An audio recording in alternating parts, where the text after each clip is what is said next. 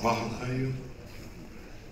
يسرني في مستهل المحاضرة العامة الثانية في هذا المؤتمر أن أقدم لكم الدكتور عزمي بشارة والتي تحمل عنوانا دالا هو في أولوية الفهم على المنهج. ويمكن اعتبار هذه المحاضرة نوعا من تفكرات ومكاشفات وأسئلة فكرية إشكالية ترتبط بتجربة بشارة البحثية والفكرية الطويلة والمتشعبة والغزيرة أيضا في العديد من المجالات لكن ما يجمع بينها هو خط ناظم أو خط مشروع فكري تتشابك حلقاته وبعجالة سأقتصر على المرحلة الجديدة التي دخل فيها هذا المشروع.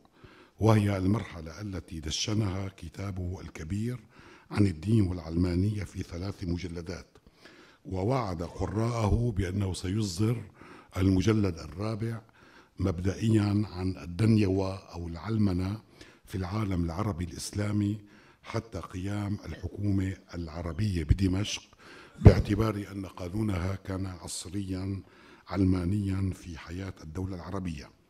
وهذا المشروع هو نموذج لما أطلق عليه المنهج التكاملي أو ما يطلق عليه الآن تداخل الاختصاصات وعبورها وتشابكها وهي رؤية تبناها المركز العربي منهجيا منذ انطلاقته في أواخر العام 2010 ومن هذا المشروع وصولا إلى كتبه الأخيرة وأبرز منها كتاب الطائفة والطائفية الطوائف المتخيلة التي يعمل فيها على بناء نظرية عربية للطائفية في شروط انفجار المشرق العربي الكبير بالصراعات الهوياتية والطائفية وتحوله إلى مختبر لإمكان اشتقاق هذه النظرية. وهذه النظرية التي اشتقها بشارة من عمله البحثي على مستوى التاريخ الطويل المدى لهذه الإشكالية تعتبر تتويجا في محاولة بناء علم اجتماع اجتماعي علم اجتماع عربي يسائل المفاهيم القارة وينقدها ويفحصها ويعيد بناءها من جديد. لن أطيل فالكتاب متوفر ولكن كي أشير إلى الصلة بين العنوان الدال لهذه المحاضرة أولوية الفهم على المنهج وبين اشتقاق بشارة لمنهجه من عملية البحث وموضوعها في سياق محاولة بناء علم اجتماعي عربي. ستثير هذه المحاضرة لا شك الكثير من النقاش والأسئلة. أدعو الدكتور بشارة إلى تقديم محاضرته وهي طويلة تناهز عشرة آلاف كلمة كما وصلتني لكنه سيقدمها مختصرة في حدود الحصة الزمنية المقررة. أهلا دكتور تفضل. شكرا شكرا أستاذ جمال. شكرا للحضور. آمل أن تتحلوا بالصبر قليلا لأنه فعلا المحاضرة بدأت ككلمة مكتوبة أردت أن أقرأها ثم تحولت إلى نوع من الإسي النظري الطويل. سأحاول أن أختصر قدر الإمكان. وأتكلم بشكل ارتجالي تقريبا لأنه من الصعب أن أقرأ محاضرة من عشر ألاف كلمة في الوقت المحدد لهذه المحاضرة الافتتاحية. وطبعا العنوان هو في أولوية الفهم على المنهج والمحاضرة من جزئين أو الكلمة من جزئين أو المداخلة. الجزء الأول هو نوع من المكاشفة الديكارتية حول عملي أنا يعني كيف أقارب أنا مواضيعي؟ ومع علمي أنه ديكارت من قراءتي للأوراق التي وصلتني أنه ديكارت لا يتمتع بشعبية كبيرة في هذه القاعة. وطبعا أنا استفدت كثيرا من الأوراق الموجودة ولكن مع ذلك المكاشفة هي ديكارتية بمعنى ماذا؟ ماذا أفعل عندما أقارب موضوعا؟ والجزء الثاني هو بعض المناقشات الفلسفية حول المنهج. أتمنى أن أصل للجزء الثاني أو أن أقول أتطرق للنقاط الرئيسية فيه. الحقيقة عندما أبحث في موضوع ظاهرة اجتماعية أو غيره أنا القادم من مجال الفلسفة إلى العلوم الاجتماعية أميز غالبا بين التطرق أو معالجة مفهوم أو مصطلح قائم أصلا في العلوم الاجتماعية يختزن آه، يختزن بنية تحليلية لظاهرة ما أو يختزن على الأقل طاقة تحليلية لظاهرة اجتماعية ما. غالبا كشخص قادم من مجال الفلسفة أبدأ بالمفهوم أبدأ بالمصطلح من الأدبيات القائمة. طبعا الكثير من علماء الاجتماع والاقتصاد وبقية العلوم الاجتماعية والإنسانية يبدأون بالظاهرة الاجتماعية نفسها لكن في رأيي يتبين خلال البحث أنه لا فرق. سواء بدأت بمعالجة مفهوم قائم مثل ما فعلت في كتاب المجتمع المدني أو العلمانية أو الطائفية أو غيره. في النهاية ستجد نفسك وجها لوجه مع الظاهرة الاجتماعية لكن أفضلية البدء بالمفهوم هي الأفضلية التي تسمح لك بنقد ما كان قائما بعرضه على الظاهرة الاجتماعية ومقارنته بها ويعطيك زاوية نظر. يعطيك شيء تبدأ به يعطيك زاوية نظر إلى الواقع الاجتماعي لكي لا تبدأ من الصفر. وغالبا ما أبدأ أنا شخصيا يعني بتحليل فيلولوجي أو حتى لساني وظيفي للمفهوم كيف نشأ تاريخ نشوء فكرته ومقارنته مع الظاهرة الاجتماعية نفسها. المقارنة أو محاولة تأريخ الأفكار تاريخا نقديا. هذا البعض يسميه منهج. أنا لا أسميه منهج. هكذا أقرأ أقرأ بشكل نقدي أصلا بدون ما أفكر فيه كمنهج. تأريخ نقدي للأفكار كيف نشأ المفهوم كيف نشأ المصطلح ومقارنته مع التطور الاجتماعي التاريخي نفسه. هذا يعطيك زاوية ممتازة للبدء في الظاهره الاجتماعيه لكن لو سألت نفسي أو سألتوني ما هو المنهج الذي سأتبعه في الظاهره الاجتماعيه أقول بصراحة لا أدري. أنا عندما اقارب ظاهرة اجتماعية ما لا أدري ما هو المنهج الذي سوف أستخدمه. وأضيف وأقول لا أدري ما هي الفرضية. غالبا الباحثين آه، ينظرون إلى كتاب يرون في البداية فرضية والشخص يتحدث عن المنهج الذي استخدمه. هذا أسلوب العرض هذا ليس أسلوب البحث. كما كان ماركس يسميه هذا Darstellung method هذا أسلوب ال presentation ليس أسلوب ال research. هذا عمليا قلب لما فعله الباحث. الباحث انتهى بالفرضية ولم يبدأ وصل إلى استنتاجات ثم صاغها كفرضية عندما كتب الكتاب. هذه الحقيقة. نحن لا نبدأ بالفرضية. نحن ننتهي بالفرضية. ولذلك من يدعي أنه لديه فرضية جاهزة منشأة قبل أن يبدأ بالبحث باعتقادي هذا خطأ. ومن يقول أنه يبدأ بمنهج ما أيضا خطأ لأنه المنهج برأيي يفرض الموضوع وليس فقط الموضوع يفرض معالجة الموضوع. حين تبدأ بمعالجة الموضوع يتضح بالتدريج ما هي المناهج لا هي المنهج والمناهج التي ستحتاج إليها لفهمه أو طبعا غالبا البداية تكون بالأدبيات وفحص ما كانت إذا ما كانت مفاهيم صالحة ما زالت صالحة لفهم الظاهرة. هل نشأت اكتشافات جديدة تطورات جديدة؟ فندت المفهوم وطاقته التحليلية. أنا شخصيا وصلت إلى ذلك في تحليل السكت عند فيبر ووجدت أنه لا يصلح لفهم الطائفة والطائفية في بلادنا يعني أخذت مفهوم قائم في العلوم الاجتماعية وأظهر في فصلين ثلاثة أنه غير قابل للتفسير. لا يشرح مفهوم الطائفة في بلادنا. قد يشرح مفهوم الفرقة ولكنه لا يشرح مفهوم الطائفة الطائفة تحتاج إلى تطوير نظرية خاصة بنا لأنه هذا موضوع طويل على كل حال. ولكن تبدأ بالمعالجة من منطلق أن من منطلق نقدي أن مفاهيم أصبحت قاصرة عن فهم الظواهر الاجتماعية قيد الأبحاث. هنا أتذكر قول لكارل بوبر أنه ليس هنالك منهج للاكتشاف بل فقط منهج للإثبات أو قابلية التخطيء أو التكذيب falsifiability. برأيي هذه الجملة أنه لا يوجد منهج للاكتشاف يوجد فقط منهج للتصديق أو التكذيب. يعني بعد الاكتشاف. تصلح لموضوع المنهج. لا يوجد منهج لاكتشاف المنهج. لا ليس لدي منهج لاكتشاف المنهج خلال البحث. هذا يتبين خلال التفاعل مع الموضوع نفسه. عندما أقارب بحثا ما ماذا يوجد لدي؟ توجد لدي مجموع حدوث. مثلا الحدس أن شيء ما خطأ في النظريات الاجتماعية القائمة أو إدراك وليس مجرد حدس أن شيء ما خطأ. وقد يكون الدافع أيضا قيمي للبحث. مثلا اعتقادي أن ال ال هنالك حاجة لتصحيح بعض المفاهيم الخاطئة من منطلق مصلحة المجتمع ومصلحة العملية الاجتماعية مثلا التحول الديمقراطي.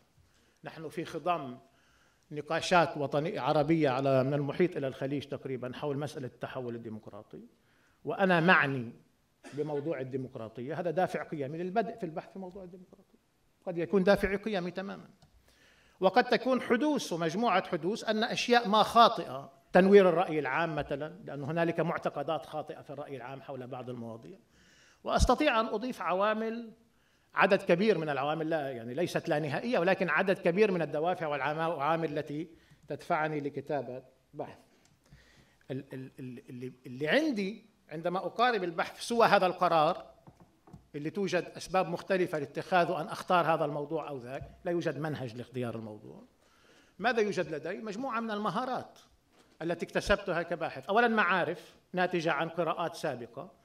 وقراءات يجب أن أستكملها قراءة الأدبيات. ثم مجموعة مهارات عقلية مثل التفكير السببي مثل القدرة على الاستنتاج بشكل متماسك الذي يسمى عادة الاستنباط والاستدلال وغيره. استنباط فكرة من فكرة بشكل متماسك وله وسائل مختلفة. وربما أتعلم القدرة على الاستقراء لاحقا كيف أخرج تعميمات من جزئيات وغيره. والقدرة على التحليل القدرة على البعض في علم طلابه يبدو يكتب في المقدمات استخدمت المنهج الوصفي التحليلي. لا يوجد منهج وصف تحليلي. هذه مهارات عقلية.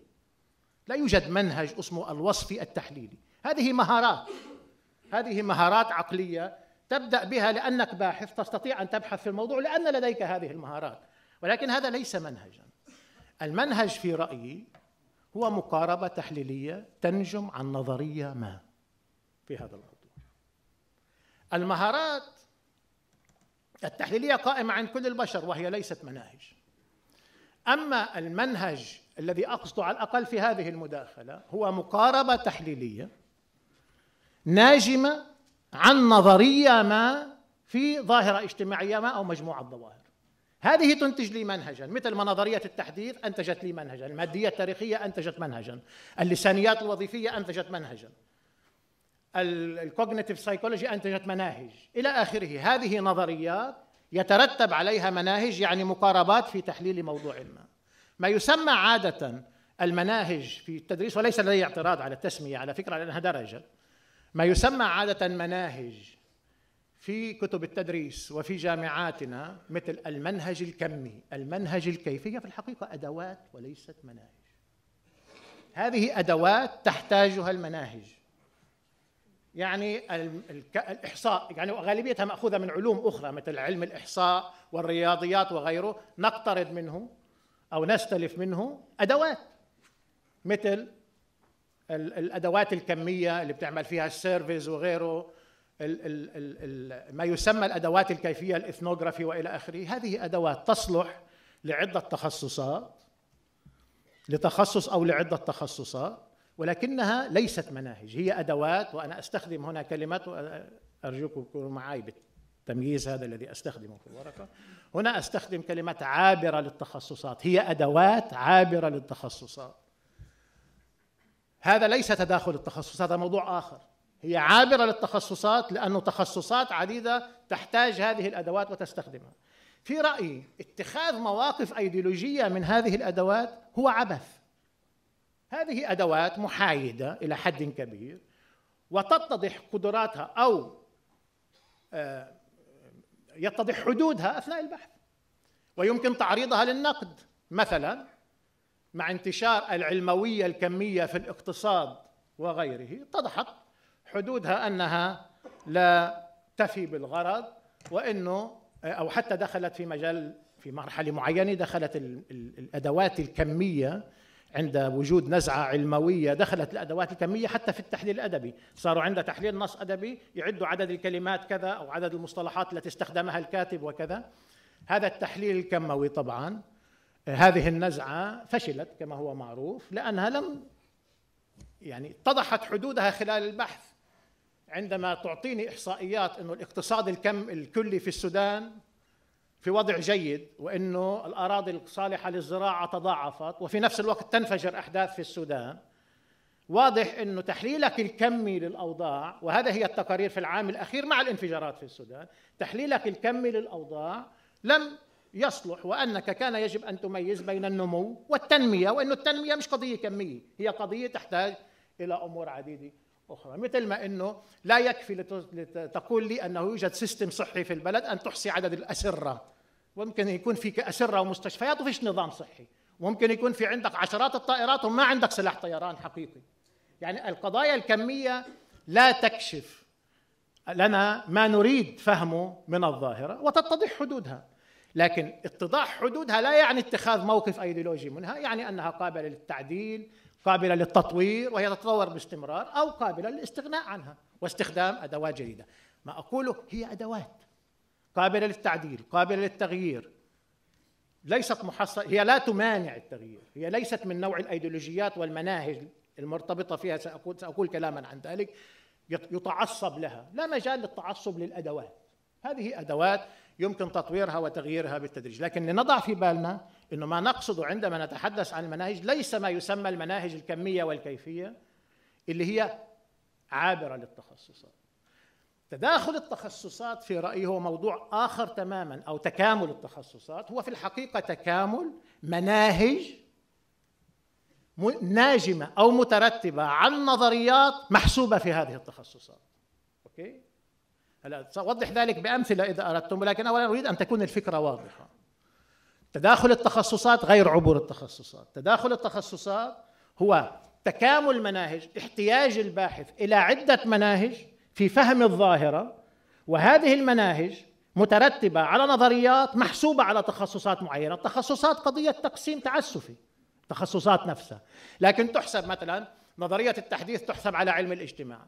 تضطر أن تتكامل مع أثناء أثناء استخدامها تضطر أن تتكامل كما أستطيع أن أظهر مع الفانكشناليزم مع الوظيفية مع البنيوية اللي هي لا أدري بأي تخصص تكون تضطر أن تتكامل مع آه، المادية التاريخية اللي أصلها نظرية في التاريخ أو غيره. أمور كثيرة أخرى أحتاجها أثناء البحث في ظاهرة اجتماعية. أضطر إلى إلى عدة مناهج لفهم الظاهرة. هذه المناهج محسوبة على عدة تخصصات. هذا تكامل التخصصات. في لغط كثير حول تكامل التخصصات عبور التخصص أما في أشياء عابرة للتخصصات أصلا تستخدمها عدد مثل المنهج الكمي والمنهج الكيفي. حين قاربت مسألة أنا أتحدث كما قلت مكاشفة نوع من المكاشفة حين قاربت مسألة الطائفية. الطائفة والطائفية طبعا بدأت بالمصطلح. تاريخه إلى آخره. هل سكتاريانيزم كما استورد من الغرب يصلح لفهم الظاهرة في بلادنا؟ ما هي الطائفة؟ تجد نفسك تحلل هل هي community طيب ال community لها نظريات. في نظريات قائمة حول ال community وال society تتعامل مع نظريات قائمة يترتب عليها مناهج معينة في فهم الظاهرة. هل تفهم الطائفة ك community في نظرية قائمة ما هي ال community هل تفهم ك society في مناهج. يتضح لي في البحث إنه هي لا هذا ولا هذا. هي ليست community لانها ليست face to face ولا society ولا مجتمع كما نتحدث عنه لانها ليست مجتمع قائم. بذاته على آه، نوع من الفردية وعملية التبادل. وأتوصل إلى ما وجدته أيضا عند باحث مثل بنديكت اندرسون أنها جماعة متخيلة. وهذه الجماعة المتخيلة كيف تنتج؟ وهنا نظريه إذا أردتم. نحن إحنا إحنا سهل نحكي على الغرب إنه عنده نظريات. أنا أقول هم رجال ونحن رجال. مش هيك قال أبو حنيفة؟ وإحنا كمان نعرف نعمل نظريات يعني. هنا النظرية الرئيسية جملة واحدة مثل ما في إحدى الأوراق قالت البساطة. بدك تكون شيء بسيط حتى تبني نظرية. اولا بدك بعدين تبني عليه بس في أول شيء لازم تكون جملة بسيطة في النظريه بدون تعقيدات. أفضل يكون متغيرين. ثلاث متغيرات بالحد الأقصى لأنه النظرية بده يكون في انتظام أول شيء بنية متكررة في الظاهرة الاجتماعية التي تتحدث عنها. ثانيا انتظام ما في العلاقة بين متغيرين أو ثلاثة مع تحديد بقية المتغيرات. هاي نظرية ببساطه يعني هذه البنية المجردة أصلا.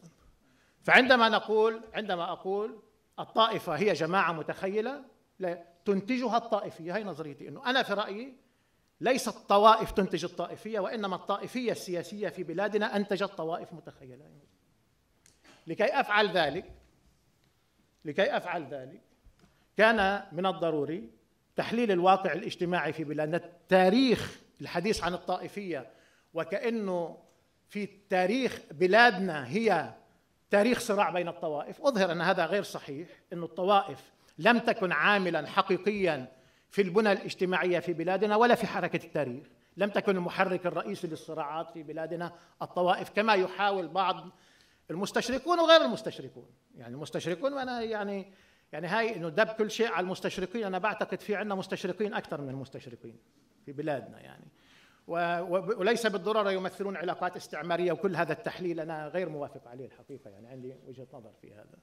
وكأنه ال ال ال بلادنا هو لأنه يرون الآن الصراع طوائف يسقطون ذلك على التاريخ في projection on history وكأنه التاريخ هو صراع بين الطوائف. تنتقد ذلك بماذا؟ بدراسة نقدية للتاريخ بقراءة نقدية للتاريخ من جديد. والتاريخ الاجتماعي أيضا. تجد نفسك أثناء الحديث عن البنى الاجتماعيه بحاجة إلى نظرية الدولة. تجد نفسك بحاجة إلى دراسة في مجال آخر تماما اللي هو العلوم السياسية ال comparative political science أو ال comparative politics كما يسمى في الغرب وهو نظرية التوافقية. هل التوافقية تصلح لبلادنا أم لا؟ ما هي التوافقية؟ تجد نفسك مواجهة مع نظرية التوافقية. وهل تصلح لبلادنا؟ فرضت فرضا على بلادنا في رأيي من قبل سوسيولوجيين عرب أو منظرين عرب. هل تصلح لهذا؟ وهي مأخوذة من هولندا بالأساس يعني هي مأخوذة بالأساس من هولندا. وكل مرة الكاتب كان يصادف شيء جديد يرجع يطورها من جديد. يعني عمليا ليست نظرية حقيقة. استقراء واحد من نموذجين أو ثلاثة بلجيكا هولندا سويسرا. وكل مرة يخطئ يضيف إليها شيء لأنه يثبت أنها خطأ. لا تصلح لبلاد أخرى. فكل سنة كانت تعني نظرية التوافقية تبعت ليبهارت. كل سنة كانت تعني شيء جديد. أنا أظهر ذلك. يعني وبالتالي نحن أيضا نستطيع أن نطور من التجربة اللبنانية والتجربة العراقية. هل تصلح لبلاد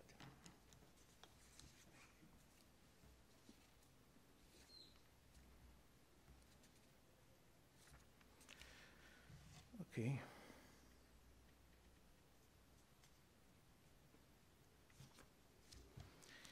أعود لملاحظة أخرى حول ال ما يسمى الأدوات الكمية أو ما يسمى في لغة التدريس في الجامعات المناهج الكمية. وكمان مرة أقول مرة أخرى ليس لدي اعتراض على اللفظ ما دمنا متفقين ماذا يعني. حين نستخدم نظرية مثل نظرية التحديث اللي ثبت أيضا حدودها ومشاكلها وأنه لا يوجد تحديث واحد وأنه تطبيقها على العالم الثالث لا يصح ثبت ذلك ويوجد. مدارس كاملة نشأت في أمريكا اللاتينية تحديدا وليس عندنا. يوجد بعض المتغيرات مثل نظرية ال dependency theory آه، آه، نظرية التبعية اللي انتقدت نظرية التحديث ولكن هنالك نظريات أخرى عديدة انتقدتها عندما نأتي لنظرية التحديث اللي تقول الكثير إذا أنت تبنيت منهج نظرية التحديث أنت تبنيت أمور عديدة مثل لها له إسقاطات على مفهوم الحداثة ما هي الحداثة؟ أو إذا تبنيت منهج التحديث تحتاج أن تحدد تحتاج أن تحدد تحتاج إلى أدوات لتحدد كيف يقاس التحديث هل يقاس ب آه، بمعدل الدخل للفرد؟ هل يقاس بحجم الطبقة الوسطى؟ هل يقاس بعدد أجهزة التلفزيون في البيوت؟ هل يقاس بنسبة التعليم؟ كل هذه عناصر مترتبة على المنهج تحتاج أن تفحصها. ماذا تحتاج لتفحصها؟ أدوات. ما هو نوع الأدوات التي تحتاجها؟ في هذه الحالة ربما أدوات كمية. هذه هي العلاقة لكي أبينها تماما. هذه هي العلاقة بين النظرية المنهج الأدوات. لكن خلال ذلك الامتحان الكبير خلال ذلك تبين إذا ما كان هذا يكفي لفهم الظاهرة هل يجب نقده هل نحتاج إلى مناهج جديدة لاستكمالها للتعامل مع الظاهرة والتوصل إلى نموذج جديد أو نظرية جديدة أو مفهوم جديد. أو قد يتضح إنه هذا هذه المناهج بالإضافة إلى مناهج أخرى تعطيني قدر جيد من آه، ال ال ال ال الوسائل لفهم لفهم الظاهرة. في بعض الباحثين أصلا كل بحثهم مبني على محاولة إثبات أن منهج ما صحيح. أنا لست يعني مؤيدا لمثل هذا النوع من الأبحاث لأنه يعني أنا برأيي لا يخرج بشيء جديد سوى النقاشات بين الباحثين. قد يصلح لنشر مقال في بيريوديكال قد يصلح للترقية قد يحصل النقاشات بين الأساتذة. مثلا أنا أست... أقوم ببحث لأثبت أن منهج ما صحيح لأنه لدي موقف أنه هذا المنهج صحيح. ماذا يزيد ذلك على المعارف العلمية؟ لا أدري. ولكنه هذا العالم الأكاديمي لا يخلو من مثل هذه الأمور وربما تكون له حاجة وربما يكون النقاش حول هذه المواضيع مفيد. أنا لا أقصد مثل هذه الأمور. أنا أقصد أحد نوعين من الأبحاث. إما محاولة فهم ظاهرة اجتماعية أو محاولة فحص مفهوم ما إذا كان يصلح لظاهرة اجتماعية. وكما قلت في البداية في النهاية المسارين يتقاطعان. سواء جئت من الفلسفة مع المفاهيم إلى العلوم الاجتماعية أم جئت من العلوم الاجتماعية من الظاهرة نحو المفهوم في النهاية العمليتين تتقاطعان. الآن أريد أن أقول بعض الملاحظات حول المنهج من النقاشات الفلسفية الجارية حوله آمل أن يسعفني الوقت. طبعا غالبية الأمور ستنشر لاحقا. ولذلك يعني ما بصير شيء عظيم إذا في أشياء نسيتها يعني مش شغلة عظيمة في الآخر بنتشر مش رح تتغير الدنيا يعني. الآن في نقاشات فلسفية لاحظتها أيضا في الأوراق اللي طبعا استفدت منها كثير أنا تقريبا قرأت كل الأوراق حوالي 2000 صفحة الله يعطيكم العافية يعني. آه، في أشياء طبعا مفيدة جدا في الأوراق لكن في نوع من النقاشات الفلسفية. أنا برأيي آه، مفيد فلسفيا بمعنى لا أدري ما هو إسقاط الحقيقة على منهج البحث يعني لا أدري النقاشات هايدجر وتلامذته كم فادت المناهج. يعني ما حدا يستطيع أن يريني حتى الآن ممكن يجي واحد في المستقبل يظهر لي. وين أثرت على منهج البحث هي نقاشات هيك ممتازة يمكن مفيدة يعني في النظر إلى العالم والدنيا. لكن لم أرى الأثر المباشر على منهج في البحث و أبدأ ب آه، بمقاربة مرة أخرى تقترب من قضية المكاشفة. عندما أبحث في موضوع معين لا أفكر كثيرا في ذاتي بوصفها ذاتا وفي الموضوع بوصفه موضوعا وربما أعتبر هذا الأمر معطى مفروغا منه. فالذات والموضوع في حالة القيام ببحث هما طرفا معادلة الممارسة المعرفية. وليسا قطبين متقابلين في تنظير سابق عليها. الفصل بين الذات والموضوع في حالتنا مناهج البحث نحن نقوم بأبحاث مناهج البحث. الفصل بين الذات والموضوع هو مسلمة ابستمولوجيه ولا يقوم على افتراض واع لوجود سوسيولوجي للظواهر الاجتماعية لوجود فصل سوسيولوجي للظواهر الاجتماعية بين ذوات ومواضيع أو أنتولوجي للوجود بشكل عام بين ذات وموضوع. وأعتقد أن الانشغال بهذا الموضوع مشكلة بعض المفكرين والباحثين لكني بالإمكان أن أعتقد أن الذات والموضوع غير منفصلين انتولوجيا ومع ذلك أمارس هذا الفصل معرفيا. لا يوجد طريقة أخرى. في معادلة ذات وموضوع في العملية المعرفية. سواء سلمت انتولوجيا بوجود فصل أم لا هذا لا يؤثر على أني أتعامل كذات مع مواضيع في البحث العلمي. هذا أنا باعتقادي موضوع إبستمولوجي لا علاقة له بالتقسيم الأنتولوجي للوجود أو حتى التقسيم السوسيولوجي.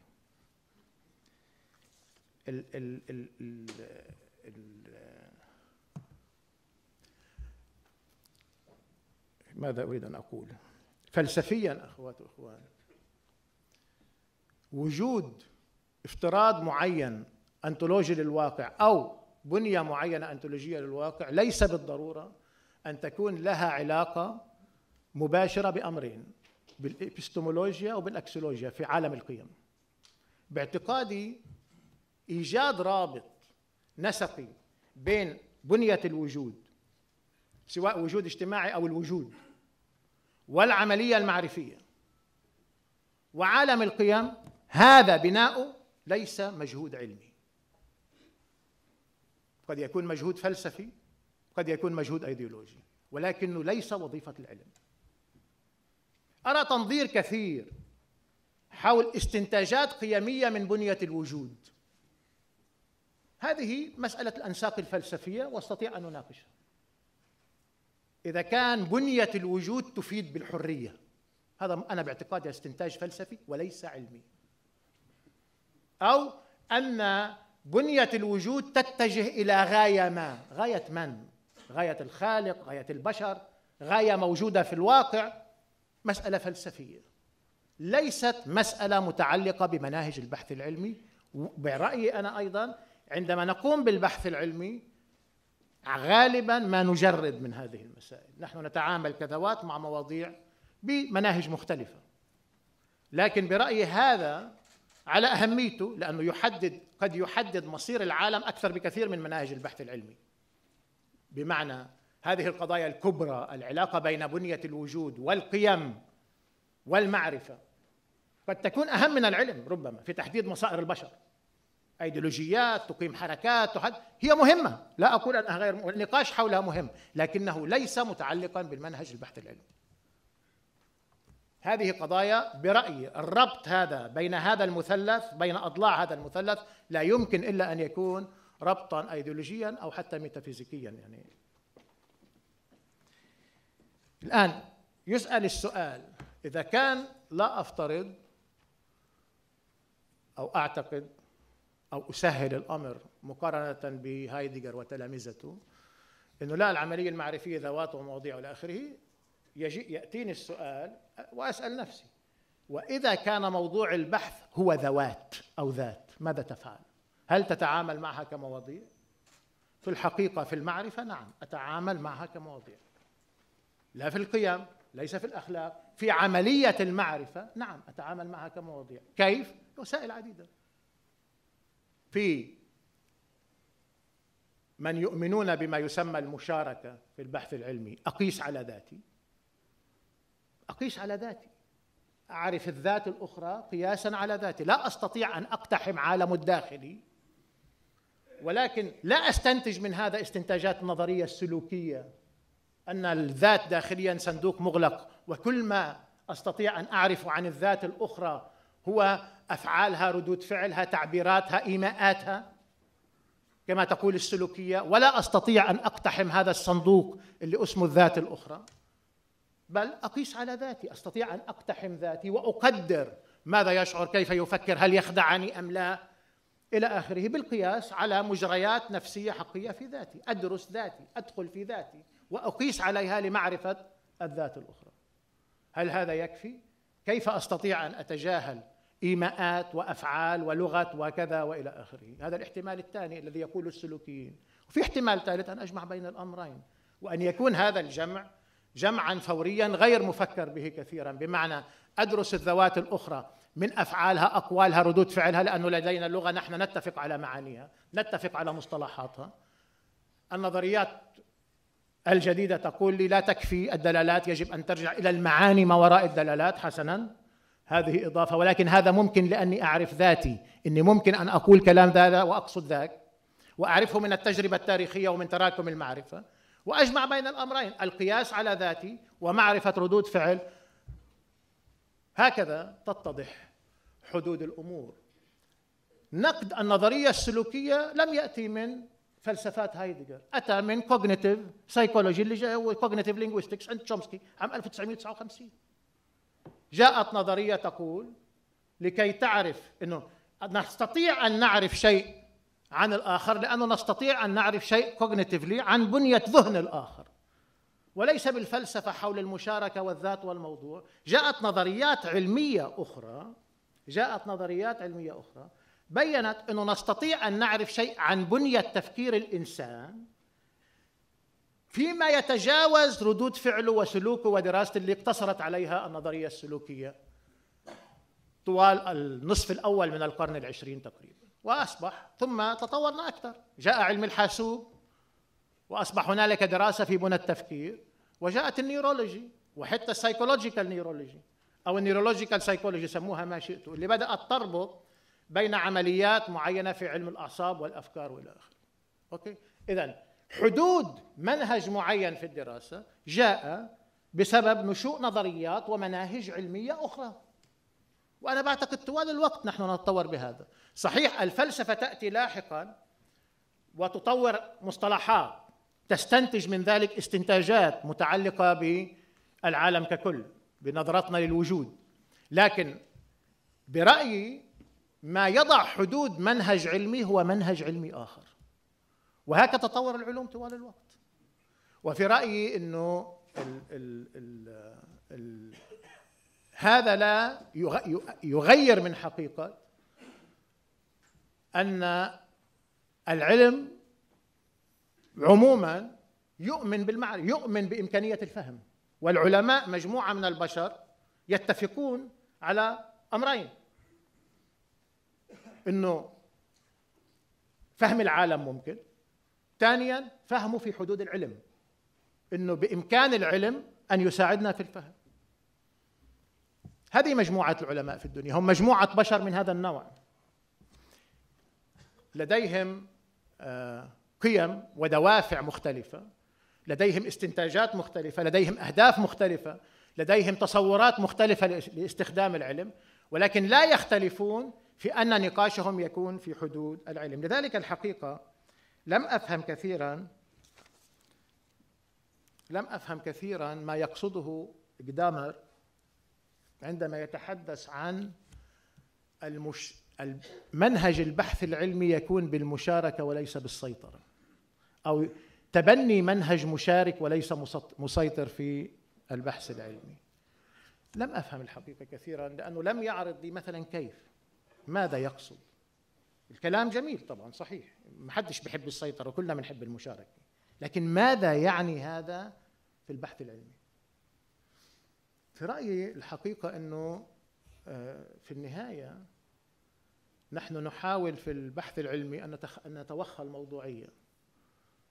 آه، وفي نقدنا لعلوم استخدمت في السيطرة على المجتمعات والبشر ننتقد قيميا وننتقد شوائب أيديولوجية في استخدام هذه العلوم. أما إذا كان تعريفنا للعلم نفسه أنه عمليه سيطرة للبحث العلمي نفسه كعمليه سيطرة تنتهي إمكانية الحوار. لأنه إذا أصبح هذا هو تعريف العلم أنه عمليه سيطرة فهل انتقده من منطلق غير علمي؟ يعني أصبح ضد العلم لأنه العلم هو في جوهره عمليه سيطرة؟ هل نقدي للعلم يكون نقد غير علمي؟ النقد الوحيد للعلم الممكن سيكون غير علمي لأن العلم في تعريفه عملية سيطرة. أنا برأيي هذه النقاشات غير مفيدة وبرأيي أنه في فهم خاطئ لنقد أدورنو وهوكهايمر للتنوير وللعلم. في فهم خاطئ تماما في رأيي. هو ليس مغالطة منطقية استنتاج من السيطرة على الطبيعة أو السيطرة على الظاهرة الاجتماعية بمعنى فهمها واستيعابها استنتاج منه إلى السيطرة السياسية والقمع والدكتاتورية. برأيي هذا استنتاج لمصطلح علمي من استعارة أدبية لأنه تشبيه تشبيه السيطرة السيطرة على موضوع البحث تشبيهه بالسيطرة السياسية هي استعارة أدبية. هذه استعارة أدبية وليس مصطلح علمي.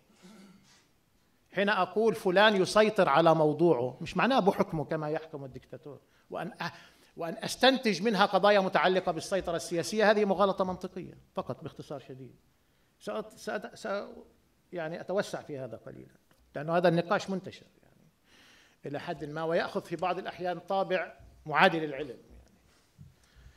عندما انتقد هوركهايمر وأدورنو التنوير في جدلية التنوير في منتصف الأربعينات في زمن حكم النازية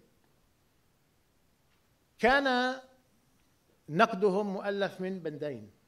البند الأول أن العلم واستخدم مصطلح Verstand understanding اللي مستخدم بشكل مقلوب الحقيقة في بعد ما أقرأه عند هيجل اللي هو استخدام العقل كوسيلة. هذا مفهوم ال Verstand ال Verstehen عند هيجل. في تشويه له لاحق عند غادامر والآخرين بس الأصل مفهوم الأصلي هو استخدام العقل كوسيلة. أن العلم يستخدم العقل كوسيلة ويحيد الغايات. وبالتالي يسهل استخدامه كوسيلة من قبل من يريد. لبناء معسكرات اعتقال أم لبناء قنابل نووية أم لعلاجات في الطب وتطويل عمر الإنسان. لأنه العلم يستخدم العقل فقط كوسيلة ويحيد الغايات. هذا النقد الأول. وليس بمفهوم أن العلم هو سيطرة. هذا النقد الأول. ويقولون يجب إدخال الغايات أو مقاصد البشر في العملية العلمية الأمر اللي بسميه هيجل Vernunft العقل. بدل Verstand الفهم Vernunft العقل. العقل يحوي العلم كوسيلة زائد الغايات يعني لا يتورع عن التفكير في الغايات. هذا ما يقوله أدورنو وهوركهايمر الأمر الثاني اللي بيقوله أدورنو وهوركهايمر في نقد التنوير هو أنه يجب أن لا نتجاهل أن نفس الوسائل العلمية المستخدمة في العلوم تمكن المجتمعات الحديثة من بناء جهاز القمع والرقابة ومعسكرات الاعتقال والاستعمار واضطهاد الآخرين والى آخره هذا الذي يقولونه إنه العلم الذي مكن من كذا وكذا وكذا هو الذي مكن من إنشاء الدولة الحديثة، الدولة القمعية اللي بطبيعة تعريفها هي دولة شمولية، يقولون انه الدولة اليوم الحديثه هي شمولية لأنها قادرة على السيطرة الشاملة على المجتمع خلافا لدول ما قبل الحداثة، هذا هو الفرق بين الحداثة وما قبل الحداثة في مفهوم الدولة، أن الدولة أصبحت بحكم تعريفها شمولية قادرة على السيطرة على المجتمع. ككل هذا نقد وأستطيع أن أتبنى هذا النقد. هذا نقد أنا أقبل تماما أنا معهما تماما. ولكن هذا لا يؤثر على إنه نحن الباحثون المشاركون والمسيطرون. كلانا نحاول أن نتملك موضوع البحث ونفهم قوانينه. والنقد لحدود العلم يأتي من العلم وإلا ماذا؟ ما هو النقد أدورنو وهوكهايمر للعلم؟ هذا نقد يحاول أن ينقي العلم من شوائب أيديولوجية ومن مسلمات. سماها بتصور امبارح آه، دكتور عبد الله فرضيات هيمنية. فرضيات هيمنية قائمة في العلم. لكن هذا نقاش يحاول أن ينقي العلم مما هو غير علمي وليس نقاش مع العلم أو ضد العلم. يعني مرة أخرى النقاشنا جميعا وهذا أصبح تقريبا تقليعا نقاشنا مع الاستشراق. نقاشنا مع الاستشراق. ماذا نناقش في الاستشراق بالضبط؟ العلم أو الشيء غير العلمي اللي في الاستشراق؟ يعني يعني لماذا مناقشو الاستشراق يحرصون كثيرا أكثر من غيرهم حتى؟ على مراكزهم الاكاديميه وعلى النشر في بريوديكال ليأخذوا اعتراف إنه هن علماء. كل مناقشي الاستشراق. حتى متعصبين أكثر من غيرهم للمراكز الأكاديمية في الغرب. وكلهم بجامعات محترمة. وحتى صاروا subculture في الأكاديمية الغربية. النزعة المعادية للاستشراق أصبحت subculture في الأكاديمية الغربية وبيحاول حتى يهمن علينا يعني. وبيعلمونا العداء للاستعمار وكذا. إحنا المناضلين يعني. إنه بس هن بالأكاديمية الغربية قاعدين بالجامعات وبيزودوا علينا يعني. بناقشوا ماذا؟ هل يدع هل يناقش العلم أن العلم عملية سيطرة؟ لا. بيحاولوا يثبتوا إنه كلامهم هو العلمي وفي مسلمات هيمنية في الاستشراق أيديولوجية وغير علمية اتفقنا. نحن نناقش ما هو غير علمي في الاستشراق نعم في في الاستشراق في في الاستشراق مسلمات حول الشعوب الشرقية أو كذا أو في أمور أخرى متعلقة بالرغبة في السيطرة إلى آخره في دوافع الدراسة. تجعلهم ينتقون حقائق معينة ويغفلون أخرى. كلها بروسيجرز غير علمية. تستطيع أن تريد. أنه عندما يكون التوجه للمستشرق هو التنظير للهيمنة على شعوب الشرق تجده يغفل أمور وينتقي أمور. هذه نسميها انتقائية في الأبحاث. يعني يقوم بعمل غير علمي. نحن نناقش يعني نحاول أن ننتقد علميا ما هو غير علمي في ذلك؟ أنا لا أعتقد أنه توجد مشكلة في هذا الأمر. هنا أخواتي وإخواني العلم يصلح نفسه العقلانية تصلح نفسها. نحن نقدنا على الاستشراق مش نقد بوست مودرن غير عقل ضد العقلانية. نقدنا عقلاني لما نعتقد أنه غير عقلاني في هذه الأمور. يجب ألا نعتبر العلم شيئا غربيا ونتبنى اللا عقلانية بحجة أن العلم عملية سيطرة. نترك لهم العلم يعني. هذا نكرس تخلفنا يعني. ولذلك نقاشنا مع العلوم في الغرب أو مع هذه النوع من العلوم هو نقاش علمي. يجب أن نميز أخوات وإخوان من أضيف إضافة ثانية. في رأيي في نقاشنا على المناهج يجب أن نميز بين أمرين. بطلان بارادايم وبطلان نظرية علمية وهذا نقطة ثانية غير قضية نقاشنا مع الشوائب غير العلمية في العلم أو أو الفرضيات الهيمنية أو النزعات الهيمنية أو الانتقائية أو كل ذلك اللي كلها تدخل في تصنيفاتنا لما هو غير علمي أو ما هو غير موضوعي إلى آخره فيما نسميه توخي الموضوعية في العلوم. في قضية أخرى نسرع فيها كثيرا عندما نقول إنه هذا العلم أو ذاك بطل ولم يعد صحيحا. وكثير بتيجي أمثلة عن الكوانتوم ثيوري والميكانيكا النظرية النسبية وما قبلها. ما الذي ألغي هنا أخوات وإخوان؟ هل ثبت بطلان النظرية العلمية أم ثبت بطلان البارادايم أنا بعتقد الميكانيكا يعني هذا ال ال ال الرثاء للميتان أو نعيها. لا يمكننا من فعل أي شيء. لا من قيادة سيارة ولا من فعل. الميكانيكا صحيحة طبعا بالنسبة لأجسام معينة. ما بطل هو البارادايم اللي جعل ناس مثل مثل هوبس ولوك وبعده يطبقون نظريات الحركة والقصور الذاتي والجاذبية على القضايا العلمية على قضايا المجتمع. يعني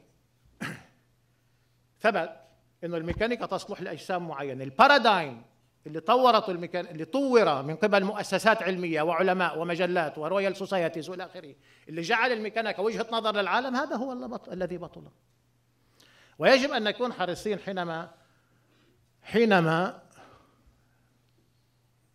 ندعي طبعا بده يكون ادعاء عقلاني عنده حجج إنه نظرية ما لا تصلح لكذا وكذا أنها تصلح من ناحية أخرى لكذا وكذا. وأنا بعتقد إنه نحن نستعجل حين ننعي الاستشراق كله. الاستشراق فيه جوانب علمية. تحقيقات المخطوطات اللي قاموا بها قاموا بعمل عظيم يجب أن نراه ونقدره. وفي بعض الأحيان أنا قلت في كتابي الأخير عن السلفيه إنه بعض نقاد الاستشراق مستشرقين أكثر مستشرقين أقل المستشرقين كانوا يقروا عربي ويقرونا هذول بيقروناش بالمرة ما بيقروا غير إنجليزي هؤلاء. أصلا بيقروش اطلاقا أي كتب إلنا. على الأقل المستشرقين في زمانهم قروا في منهم دخل في حوار مع الأفغاني ومحمد عبده. قروا مخطوطات. ممكن ننتقد ذلك بس الآن في نقاد للاستشراق لا يعرفون العربية أصلا. بيريحوا هيك حالهم وخلص وبيزودوا علينا. ولذلك أنا أعتقد. اخوات واخوان إنه النقد يجب أن نعرف ما هو حدوده ونعرف ما هي حدود النظرية ونعرف إنه التنظير العلمي هو الحل لنقد النظرية طبعا في صراع إيديولوجي مع أصحابها في صراع سياسي مع أصحابها لكن النقد العلمي بده يكون علمي. واتضاح عدم صلاحية منهج ما مثل المناهج اللي استخدموها المستشرقون في فهم مجتمعاتنا تقوم به نظريات جديدة. نقوم بها نحن ننتجها نحن. كما قلت هم رجال ونحن رجال. طبعا الآن غير نقول الرجال هم بشر ونحن بشر مش هيك؟ لأنه تزعل علي لا طبعا. بس هذا أبو حنيفة شو عمل لك يعني؟ أوكي الآن. نقطة أخيرة في النقاش الفلسفي. أخوات وإخوان لاحظت في عملي وأنا أعتقد أنه هذا له إسقاطات كثيرة ويمكن أن يعني ننشئ عليه تنظير واسع لا, لا تكفيني لا يكفيني ما تبقى من دقائق لهذه المداخلة ولن يكفي حتى المقال نفسه. أن هنالك فرق بين عرض تحليل وتحليل وعرض تحليل الظواهر التاريخية والقضايا النظرية. يعني في فرق بين التحليل التاريخي النقدي وبين أو التحليل النقدي للظواهر التاريخية والعمليات التاريخية وبين التنظير والشغل النظري. وأعتقد الفرق مفيد جدا. يعني فهم الفرق مفيد جدا في مناهج البحث. عندما نقوم بتحليل ظاهرة اجتماعية مهما كانت عادة نحاول أن نصل إلى علاقة ما أو صفة مجردة ما يمكن اعتبارها المميزة لهذه الظاهرة عن غيرها. يعني التحليل هو عملية إذا أردتم تفكيك للوصول إلى صفة ما علاقة ما بسيطة تميز هذه الظاهرة عن غيرها سموها باللاتينية مرة ديفرنسيا سبيسيفيكا يعني ما يميز هذه الظاهرة عن غيرها؟ حتى نفهم خصوصية هذه الظاهرة. ليس ما يجمعها بغيرها ما يميزها عن غيرها. ما هو أبسط صفة جوهرية تميزها عن غيرها؟ ولذلك أقول أبسط صفة لا أحب استخدام جوهرية في الظواهر الاجتماعية. جواهر وأشكال تصلح للفلسفة والنصوص والآخرين. برأيي لا تصلح للظواهر الاجتماعية. موضوع طويل لن, أدخل فيه الآن. عندما أركب أعيد إنتاج الظاهرة لأنتج مفهوما أعيد إنتاج الظاهرة ذهنيا. يعني أحاول من هذه العلاقة البسيطة أن أعيد إنتاج الظاهرة ذهنيا. هذا لا يمكن أن يتم لأنه هذه ظاهرة اجتماعية مش أفكار استدلال من فكرة إلى فكرة. هذا يبدو أحيانا عندما يطرح البحث يبدو وكأنه استنتاج فكري لكن لا يمكن أن يتم بدون عودة مستمرة إلى الظاهرة وتاريخها وإلى آخره لأنه هذا ليس استنتاج فكرة من فكرة. لأركب مفهوم عن الظاهرة الاجتماعية. عرض هذا في البحث عرض مقلوب أنت تبدأ مما وصلت إليه في البحث وتعيد إنتاج الظاهرة فكريا. يبدو في التسلسل البحثي وكأنه هذا تسلسل تاريخي والحقيقة ليس تسلسل زمني هو إنتاج نظري للظاهرة. هذا ينتج وهم ينتج يعني احتمال وهم أو عدم فهم أنه هذا إعادة إنتاج تاريخية للظاهرة. أعطيكم أمثلة حتى أوضح. كارل ماركس في رأس المال حلل رأس المال في القرن التاسع عشر. طبعا هو يعرف شروطه التاريخية شروطه التاريخية نشوء العمل مأجور. الهجرة من الريف إلى المدينة تفكك العلاقات الزراعية لأسباب مختلفة تاريخية ولا لكن حين حلل رأس المال وصل إلى العلاقة البسيطة الأولى التي تميز رأس المال عنه والتي سماها البضاعة. البضاعة يكثف في داخلها علاقات تبادل اللي تميز رأس المال. علاقات تبادل الاقتصاد. فوصل إلى مفهوم البضاعة بالتحليل أنه هذا البضاعة أو السلعة هي العلاقة البسيطة الأبسط التي تميز رأس المال عن غيره من الظواهر وبدأ من البضاعة. يعيد إنتاج ظاهرة رأس المال واضطر إلى العودة تاريخيا كذا إلى آخره. أنا عم بنهي أنهي. خلصت آخر نقطة. هذا الإنتاج لرأس المال هو إنتاج نظري. تاريخيا البضاعة قبل رأس المال. في بالنظام الإقطاعي بضاعة في بالنظام العبودي بضاعة. يعني لا تب... هذا الإنتاج هو إنتاج نظري للظاهرة. ينشأ انطباع إنه هذا إنتاج تاريخي للظاهرة. كأن الظاهرة كأن رأس المال نشأ تاريخيا عن البضاعة. تاريخيا نشأ رأس المال عن العمل المأجور عن نشوء طبقة البرجوازية في المدن ونشوء العمل المأجور. لكن تأثره بمنهج هيجل المنطق اللي, اللي سمى علم المنطق خلاه يعيد إنتاج الظاهرة كما بدأ هيجل من الوجود والعدم ومن الهوية والفرق يعيد إنتاج الوجود كله. بنيته الأنتولوجية يعيد إنتاجها من هذين المصطلحين. الانطباع الذي نشأ إنه هذا تاريخ رأس المال. طبعا هذا اطلاقا ليس تاريخ رأس المال. لماذا أقول ذلك؟ لأنه هذا حاصل في غال... في قسم كبير على الأقل من نظريات العلوم الاجتماعية بالقرن التاسع عشر والعشرين. خذوا نظرية العقد الاجتماعي. نظرية العقد الاجتماعي تحلل المجتمع بالقرن السابع عشر أصحابها ولديهم مدفوعين بأيديولوجيات معينة إلى أفراد ثم ينتجون المجتمع من تعاقد بين أفراد. يعني كأنه النظرية تقص كأنها حكاية. إنه في أفراد اجتمعوا يعني عندهم استقراء بتحسبك عم تقرأ قصة. إنه في أفراد اجتمعوا وكذا وإلى آخره وعملوا تعاقد ومن هذا نشأ الكومنولث المجتمع المنظم أو الدولي في مقابل المجتمع الطبيعي. هذه الحقيقة إنتاج نظري للنظرية من العلاقة الأبسط اللي فيها اللي هي التعاقد بين أفراد. يعني أنت تحتاج إلى فكرتين فكرة الأفراد وفكرة التعاقد. هذا طريقة عرض النظرية. فرويد في فك في فكرته عن الدين كأنه ناس قتلوا الوالد ومن فكرة الأب والندم على فكرة الأب والتوبة عليها وإلى آخره نشأ العصاب الجماعي اللي اسمه الدين. و و وتخيل الأب وضع الأب. يعني يعني تصور الأب دينيا في فكرة الدين في فكرة الإله. استعان بأساطير يونانية لطرح ذلك لكن الأهم إنه عرض النظرية بصيغة أسطورة. أخطر ما يحصل في عرض النظريات نظريا أن تبدو تسلسلا تاريخيا فتتخذ شكل الأسطورة لأن الأسطورة بحكم تعريفها هي شرح لظاهرة بحكاية حكاية. الأسطورة عند الشعوب تشرح ظاهرة بقصة بحكاية. هنا ينشأ خطر الانزلاق إلى التفكير الأسطوري. لو منظري العقد الاجتماعي افترضوا بدل الأفراد جماعات لو افترضوا بدل الأفراد جماعات لكان ذلك أقرب إلى التاريخ الحقيقي لأن الناس التي تعاقدت لتصنع دولا في التاريخ لم يكونوا افرادا بل جماعات.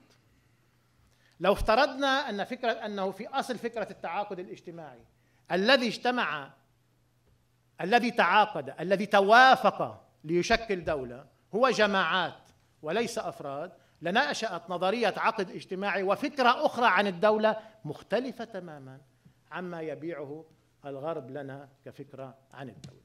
أقول قولي هذا وأستغفر الله والسلام عليكم. شكرا لكم وشكرا دكتور بشار. نأخذ استراحة ربع ساعة وبعد ذلك أرجو الالتزام بأن تبدأ الجلسات في موعدها المحدد. شكرا.